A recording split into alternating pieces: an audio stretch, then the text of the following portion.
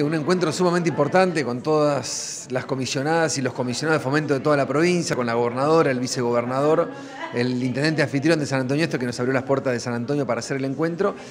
Y una reunión de trabajo, como decíamos, importante porque tiene tres ejes que son centrales y transformadores para las comisiones de fomento de acá en adelante. Por un lado, un plan de modernización que ya venimos trabajando hace años desde que Alberto Bertini era gobernador y lo profundizamos con Arabela Carreras, eh, que tiene que ver con poder llevar conectividad de calidad a todos los hogares eh, y a todos los pobladores de, de las comisiones de fomento. ¿Esto qué quiere decir? que todos los que viven en una comisión de fomento van a poder tener el mismo servicio de Internet con la misma calidad que los que viven en las grandes ciudades. En esto que nosotros siempre decimos que no tiene que haber ciudadanos de primero o de segundo en nuestra provincia, sino que todos tienen que tener la misma calidad de vida. Bueno, el plan de modernización tiene que ver con eso, con una inversión muy fuerte del gobierno provincial a través de nuestra empresa de alta tecnología que de a poco va llevando internet de calidad eh, a todas las comisiones de fomento. Vamos por cuatro comisiones de fomento y vamos a seguir eh, por Pilquini Show y así vamos a continuar eh, en las 36 que tenemos en la provincia.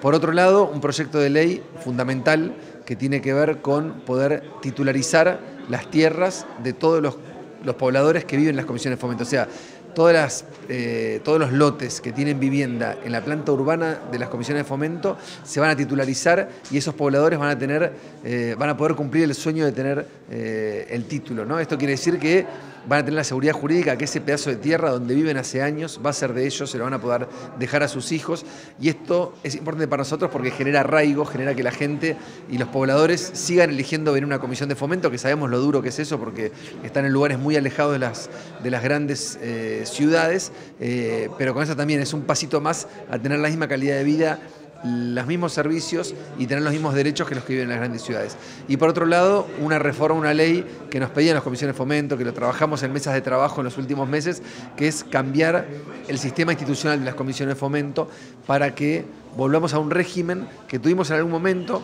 que en ese momento decidimos cambiar y, que ahora decidimos en conjunto y por la decisión de todos volver, que tiene que ver con eh, una reforma donde eh, en las próximas elecciones el comisionado de fomento, la lista ganadora, va no solamente tener eh, la comisión, o sea, va a ser comisionado de fomento, sino que el primer vocal también va a ser del oficialismo y el tercer vocal va a ser de la oposición, y de esta manera lograr mayor agilidad eh, en la dinámica administrativa del funcionamiento de las comisiones de fomento. Y esto tuvo un apoyo unánime de todos los comisionados, de todos los partidos políticos, y por eso hoy la gobernadora firmó los dos proyectos de ley que recién mencionaba para ser enviados a la legislatura, eh, ser tratados y nosotros esperamos que sea